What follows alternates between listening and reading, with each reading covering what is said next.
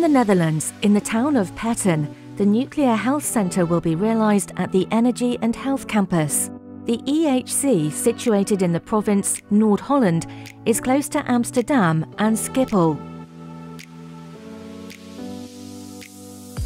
Over 1,600 specialised employees from various companies work here on new technologies and smart applications in the fields of sustainable energy and nuclear medicine.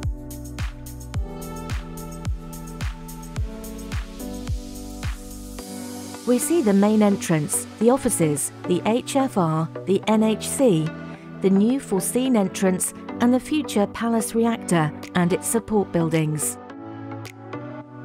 After irradiation of starting material in the reactor, radioisotopes are transported to the NHC. The NHC processes these into radiochemicals and radiopharmaceuticals packed for transport to hospitals, ready to be administered to patients. The continuation of the supply chain is secured by the future PALLAS reactor for the decades to come.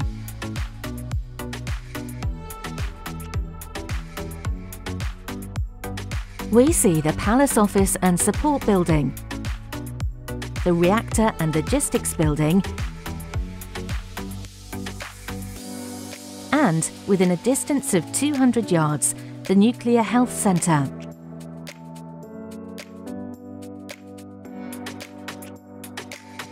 Welcome in the Nuclear Health Centre, the contract development manufacturing organisation for radiochemicals and radiopharmaceuticals.